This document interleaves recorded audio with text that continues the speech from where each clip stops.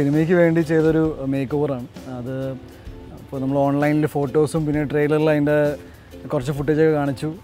എല്ലാവരും വളരെ പോസിറ്റീവാണ് റെസ്പോൺസായിട്ട് പറഞ്ഞേക്കണേ. എന്റെ സിനിമയ്ക്ക് വേണ്ടിയിട്ടാണ്. സിനിമയ്ക്ക് വേണ്ടി ഞാൻ എന്ത് ചെയ്താലും അതിന്റെ എത്ര പോസിറ്റീവ് റെസ്പോൺസ് ആണെങ്കിലും എനിക്ക് ഓക്കെയാണ് പിന്നെ ഇനി ഒരു അടുത്തായിട്ടൊരു ഒരു പെൺവേഷം ഞാൻ ചെയ്യില്ല. കുറച്ച് ബുദ്ധിമുട്ടുണ്ടായിരുന്നു. അതിന്റെ ത്രെഡിങ്ങും മറ്റേ കാര്യങ്ങളൊക്കെ. അപ്പോൾ അത്രയും സ്ക്രിപ്റ്റ് ഓറിയന്റഡ് ആയിട്ട് എന്തെങ്കിലും വരികയാണെങ്കിൽ മാത്രം. ബിക്കോസ് ഞാൻ ഇതിന്റെ ഇടയിൽ ഞാൻ രണ്ട് സ്ക്രിപ്റ്റുകൾ കേട്ട് കഴിഞ്ഞു. അതിൽ എന്നെ പെണ്ണായിട്ട് അവർ വിളിച്ചു.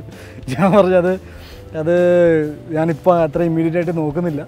പക്ഷേ സന്തോഷമുണ്ട്. ബിക്കോസ് നമ്മളൊരു മേക്ക് ഓവർ നടത്തിയപ്പോൾ ബിക്കോസ് എന്നെക്കുറിച്ച് സാധാരണ പറയുന്നത് ആ ബോഡീനെ കുറിച്ചും അല്ലെങ്കിൽ മസിലിനെ കുറിച്ച് പറയുന്ന ഒരാളെ ഒരു പെണ്ണായിട്ട് അവതരിപ്പിക്കാൻ എന്റെ ഡയറക്ടറിന് അങ്ങനെ ഒരു ഒരു ചിന്ത ഉണ്ടായി.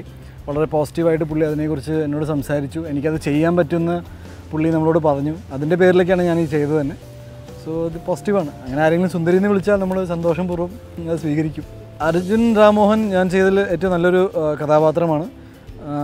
എന്റെ മനസ്സ് പറയുന്നത് ഇതിന്റെ തുടർച്ചയായ ഇനിയും കുറേ ഈ കഥാപാത്രം വേറെ സിനിമകളിലും അത് വരാൻ സാധ്യതയുണ്ടെന്നാണ് എന്റെ വിശ്വാസം. ഇതിനൊരു ഒരു ട്രയോളജി എന്ന രീതിയിലൊക്കെയാണ് ഞാനും കണ്ടമായി മനസ്സിൽ കാണുന്നത്. അപ്പോൾ സിനിമ നല്ല രീതിയിൽ വിജയിക്കുകയാണെങ്കിൽ തീർച്ചയായിട്ടും അർജുൻ രാം മോഹൻ എന്നൊരു കഥാപാത്രം ഇനിയും സിനിമയിൽ വരും എന്നാണ് എന്റെ വിശ്വാസം. അപ്പോൾ അത്രത്തോളം എനിക്ക് ഇഷ്ടമായ ഒരു ക്യാരക്ടറും കൂടിയാണ് അർജുൻ രാമിന്റെ ഈ ചാണകതന്ത്ര എന്ന സിനിമയിൽ ഞാൻ ചെയ്ത ക്യാരക്ടർ. നല്ലൊരു എക്സ്പീരിയൻസ് ആയിരുന്നു. ആ രീതിയിൽ ഇപ്പോൾ സാരി ഉടുക്കുക ബ്ലൗസ് ഇടുക അത് ഇതൊക്കെ ബുദ്ധിമുട്ടൊന്നും ഉണ്ടാക്കിയില്ല. എനിക്ക് ആകെ വന്ന ബുദ്ധിമുട്ടെന്ന് വെച്ചാൽ നമ്മൾ വെച്ച് പിടിപ്പിച്ച നഖം നെയിൽസ് ഉണ്ടായിരുന്നു. അത് അത് വെച്ചിട്ട് എനിക്ക് വേറെ ഒന്നും ചെയ്യാൻ പറ്റാത്തൊരവസ്ഥയായിരുന്നു. അതർവൈസ് നമുക്കറിയാലോ നമ്മുടെ അമ്മ നമ്മുടെ ചേച്ചി നമ്മൾ കണ്ട പരിചയമുള്ള സ്ത്രീകൾ അവർ എങ്ങനെ ബിഹേവ് ചെയ്യുന്നു അതൊക്കെ നമുക്ക് അറിയാവുന്ന കാര്യങ്ങളുള്ളൂ അപ്പോൾ ഈ ലുക്കിൽ തന്നെ ഏകദേശം ഓക്കെ ആയതുകൊണ്ട് ഞാനും വളരെ കോൺഫിഡന്റ് ആയിരുന്നു ആ ക്യാരക്ടർ ചെയ്തുകൊണ്ടിരിക്കുമ്പോൾ.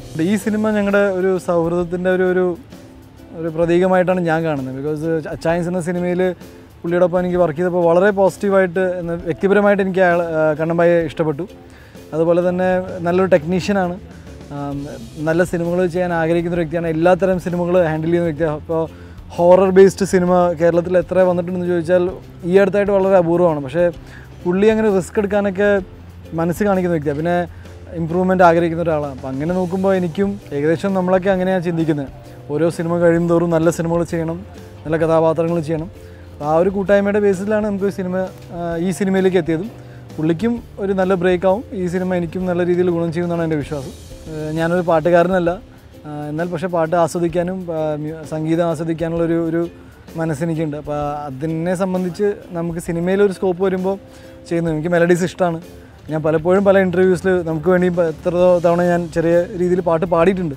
അപ്പോൾ സിനിമയിൽ ഞാൻ പാടുന്നത് കാരണം ഒന്നേ ഉള്ളൂ. ഒരു നടൻ സിനിമയിൽ പാട്ട് പാടുമ്പോൾ നാല് പേര് കുറച്ചും കൂടി ക്യൂരിയസ് ആയിട്ട് അതിനെക്കുറിച്ച് കേൾക്കാനും അത് അതിനെ അത് ഏത് സിനിമയെക്കുറിച്ചാണെന്ന് അറിയാൻ ശ്രമിക്കാറുണ്ട്. അപ്പോൾ എന്റെ സിനിമയുടെ ഒരു പബ്ലിസിറ്റിക്ക് വേണ്ടി മാത്രമേ ഞാൻ ചെയ്യാറുള്ളൂ. പാട്ട് നന്നാവുന്നുണ്ടെന്ന് കേൾക്കുമ്പോൾ സന്തോഷം. ഇതിൽ എന്റെ ക്യാരക്ടറിന്റെ പേര് ആൻഡ്രിയ എന്നാണ്.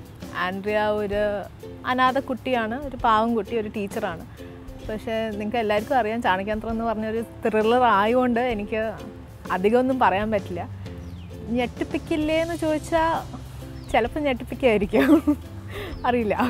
ശരിക്കും എൻജോയ് ചെയ്ത് വർക്ക് ചെയ്തൊരു സെറ്റായിരുന്നു ഈ സെറ്റിലായിരുന്നു ഞാൻ ഒരുപാട് ദിവസം ഐ മീൻ എനിക്ക് ചിലവ് എന്റെ ക്യാരക്ടർ അങ്ങനെയായിരുന്നു. അപ്പോൾ ഒരുപാട് സെറ്റ് ഒരുപാട് ദിവസം ഈ സെറ്റിൽ ഉണ്ടായിട്ടുണ്ട് ഞാൻ. അപ്പോൾ ഈ സെറ്റിൽ ഒരു എനർജി ഉണ്ട്. ആ എനർജി ശരിക്കും ബ്യൂട്ടിഫുള്ളാണ് കണ്ണൻ ചേട്ടൻ എന്റെ അടുത്ത് ഈ സ്ക്രിപ്റ്റ് നറേറ്റ് ചെയ്യാൻ വന്നപ്പോൾ കണ്ണൻ ചേട്ടൻ തന്നെ ഒരു എക്സൈറ്റ്മെന്റ് ഉണ്ടായിരുന്നു. ഈ സ്ക്രിപ്റ്റ് നറേറ്റ് ചെയ്തപ്പോൾ. അതേ എക്സൈറ്റ്മെന്റും എനർജിയും ആയിരുന്നു എല്ലാ ദിവസവും സെറ്റിലേക്കും കണ്ണൻ ചേട്ടൻ കൊണ്ടുവരുന്നത്. അപ്പോൾ അങ്ങനത്തെ ഒരു അറ്റ്മോസ്ഫിയറിൽ വർക്ക് ചെയ്യാൻ പറ്റുകയെന്ന് പറഞ്ഞാൽ അതിനെക്കാട്ടും വലിയൊരു പോസിറ്റീവ് എനർജി ഒരു ആർട്ടിസ്റ്റിനില്ല അപ്പോൾ ഈ സിനിമ കാണുമ്പോഴും അല്ലെങ്കിൽ ഈ പാട്ട് റിലീസായിട്ട് പാട്ട് കാണുമ്പോഴും നിങ്ങൾക്ക് മനസ്സിലാവുന്നതാണ് എത്രമാത്രം എൻജോയ് ചെയ്ത് വർക്ക് ചെയ്തൊരു സെറ്റാണ് ഉണ്ണി സെറ്റിൽ വരുമ്പോൾ എല്ലാവരെയും അങ്ങനെ കംഫർട്ടബിൾ ആക്കാൻ നോക്കും.